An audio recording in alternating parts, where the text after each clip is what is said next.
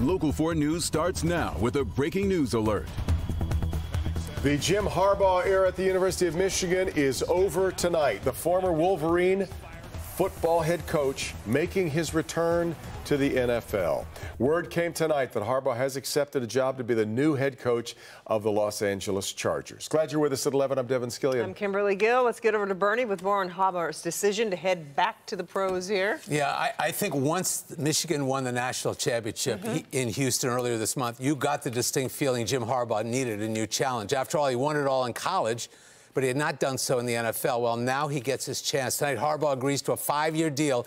He's the new head coach of the L.A. Chargers. We've got highlights of Harbaugh, led Michigan to three straight outright Big Ten titles, spent nine seasons in Ann Arbor as the head coach, and, of course, topped it all off with that national championship win over Washington on January 8th. Harbaugh said in a statement tonight, my love for Michigan, playing there and coming to, back to coach there leaves a lasting impact. I'll always be a loyal Wolverine. Athletic Director Warde Manuel said in a statement, we've been been discussing a new contract that would make Jim the highest paid coach in college football. In the end, he wanted to explore and ultimately decided to pursue a return to coaching in the NFL. Now the question is who will replace Harbaugh at Michigan? According to sources there, Sherrone Moore is the leading candidate to replace Harbaugh. Moore was in for four of the six games which Harbaugh missed after being suspended. Moore uh, was Michigan's offensive coordinator.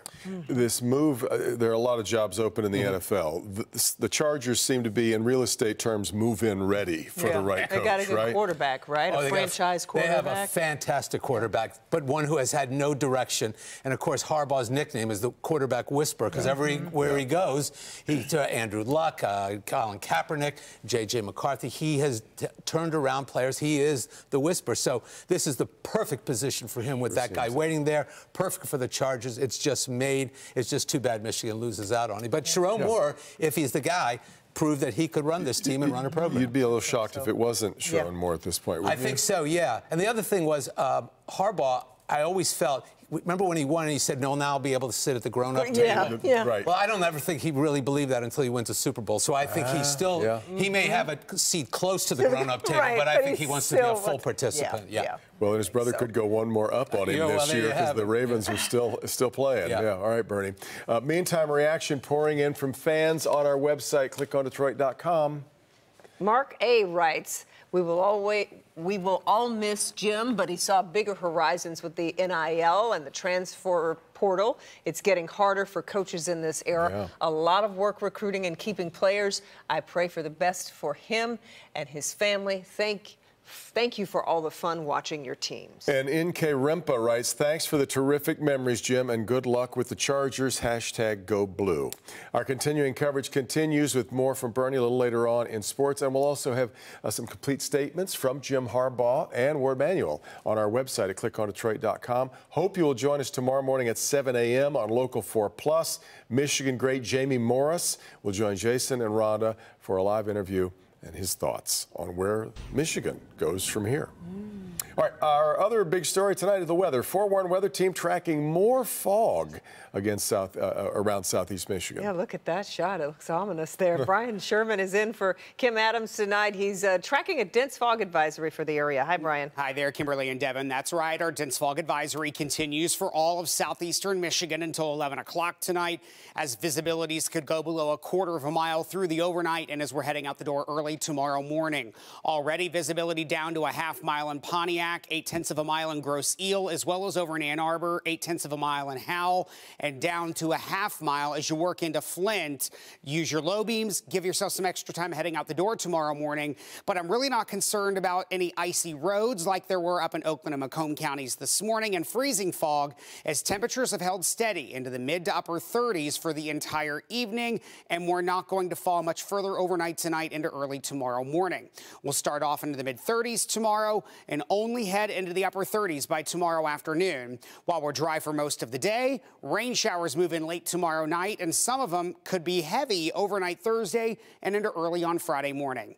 I'll break down when that rain moves into your neighborhood and when we finally could start to clear some of this fog. The details in your full forewarned forecast coming up in just a few minutes. Kimberly and Devin. All right, Brian. Tonight, Governor Whitmer touted her accomplishments over the past year in delivering her sixth State of the State address. She also laid out her policy vision for this year. Will Jones picks up our coverage from Lansing tonight with reaction from both sides. Devin and Kimberly, Governor Whitmer spoke for nearly 42 minutes going through a list of policy proposals from education, caregiving to housing. It's clear Governor Whitmer has high hopes for what she and the Democrats can accomplish this year. Governor Whitmer harkening it back to the 80s, drawing parallels between her 2023 policy record and classic rock albums of that decade. Over the past year, our record, like any great album, had something in it for everyone. This year, seniors will keep more of what they earned, and hundreds of thousands of working families will get refund checks, putting money back in their pockets to help with groceries or gas or home repairs. The governor spent the majority of her State of the State listing her policy priorities for this year, with education, pre-K for four-year-olds, two years ahead of schedule, and free community college for Michigan high school graduates. On taxes, a new caregiver tax credit, which she says could save Michigan families up to $5,000. Moving to housing, Whitmer wants to build more single-family homes, apartments, and mixed-use buildings. We got into the groove last year, but great bands do not rest on their laurels. They make the next record better than the last one. So there's a lot of overlap in terms of what we want to continue to do as House Democrats and what the governor is proposing. Metro Detroit Republicans didn't like Whitmer and the Democrats' 2023 record, and they're saying they're not buying into this year's release. Like to see instead of a tax credit, how about an income tax reduction? Because wouldn't it be great just to keep that money in my pocket in the first place? As I was ticking through what she was talking about is cha-ching, cha-ching, cha-ching. I spoke with one Metro Detroit Republican and asked if there was anything she liked in Whitmer's speech. She paused and then she said Whitmer's show of support for the Lions. From Lansing, Will Jones, Local 4. All right, Will, we are following breaking news just into our newsroom. A Michigan State trooper has died after a crash in Saginaw County. Investigators say the trooper stopped someone on I 75 at Birch Run Road when he was hit by a car. He was taken to the hospital, but that is where he died. The trooper's name has not yet been released, pending notification of his family. All right, we'll continue to follow that throughout the night. Meanwhile, opening statements begin tomorrow morning in the trial of the mother of the Oxford High School shooter. Jennifer Crumbley faces four counts of involuntary manslaughter. Today, the 17 person jury was seated. As Shawn Ley shows us, we're learning more about how they were chosen. The jury, now seated, been told to come right back here to the Oakland County Courts building 8:30 tomorrow morning sharp. More instructions for the jury from the judge, and then the jury will be sworn in, and this trial will get going right away. Let me take you a little deeper into this process of seating this jury. The jury breaks down like this 10 women, 7 men, mostly parents on this jury, and okay with firearms, they say. Most with a hunting background, parents hunted or they've hunted or hunt with their children. And when asked if they had opinion about Jennifer Crumbley, all said no, not until they see and hear all the evidence in this case. Opening arguments in this trial begin tomorrow.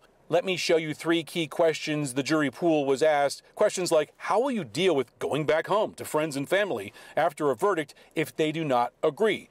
Almost everyone said they would not have a problem with that because they looked at the evidence presented.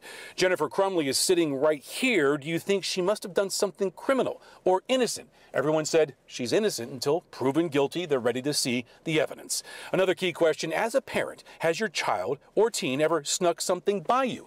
Some said no, others say yes, teens can sneak things by you. It's almost impossible to monitor everything on their phone. I was able to quickly ask a member of the prosecution team, a lawyer, and one of the lawyers helping the defense team, if they think this trial will get going right after the jury is sworn in around 8:30 tomorrow morning. They say they are ready. They think that could happen 8:30 sharp. Shawn Ley, Local 4. All right, Sean, and just a reminder, you can follow this case every day on Local 4 Plus and click on Detroit.com. Download the Local 4 Plus app on your television, wherever you get your streaming apps. You can also stream through clickondetroit.com. Family of a woman hit and killed by a DDOT bus in downtown Detroit back in June has now filed a lawsuit. Family of Janice Bowers suing the city of Detroit, DDOT, the drivers union, and the bus driver herself, Geraldine Johnson. Security camera footage shows Bauer being struck as it rounded the corner of Griswold and Congress after learning the driver was also involved in seven other crashes, one that was fatal. The family says they knew something had to be done. We thought we, we need to do something because that wasn't enough to make a change. At the policies and procedures that allow for a DDOT bus driver to take time off work for a year and a half and then return with basically an expunged record is ridiculous. Noteworthy here, this suit does not seek money, but rather changes to DDOT hiring policies. President Joe Biden picks up a big endorsement in his reelection campaign. UAW President Shawn Fain is endorsing. The president addressed the union this afternoon at its annual conference in Washington, D.C. He won UAW endorsement in 2020 despite many members supporting former President Donald Trump. Biden has previously called himself the most pro union president. In September, you may remember he joined UAW members on the picket line during the eight month long strike.